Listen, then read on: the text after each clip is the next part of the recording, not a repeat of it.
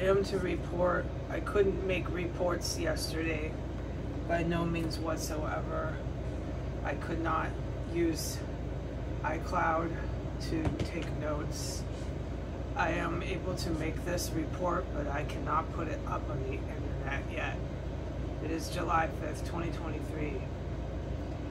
I wrote down what I witnessed before this event that I'm reporting. I can't talk about this prior event that I wrote down. I can only talk about what I'm talking about, which is this. As soon as I go into the extra room, within one minute after being casted back here, unable to leave after going out and witnessing what I witnessed, which I wrote and can't talk about in this video. Okay. One made loud noise, floor one. Within 10 seconds, one made loud noise, floor three. The loud noise is level two. Not very loud, but you hear them, okay? And then after the one made loud noise on floor three, the other one on floor one started making more loud noise. It had moved towards the front of the house. It was in the kitchen dining and it moved towards the living room. It made some more loud noises. I'm not describing every last instance of noise in this house anymore. I don't have to. There are U.S. and Allied Force agents coming in here. They've been in here. All right, you got real fucking problems, Washington D.C., and you deserve it.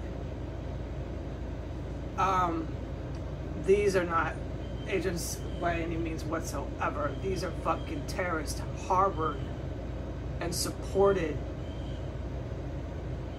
in this property to do the most vile, heinous fucking crimes I've ever heard of. Okay. Then after the one made noise towards the front of the property on floor one, one started making working noise, a series of working noises. Floor three.